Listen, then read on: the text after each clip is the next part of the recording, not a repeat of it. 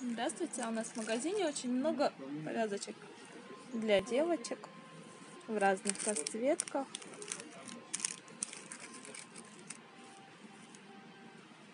В самых разных дизайнах.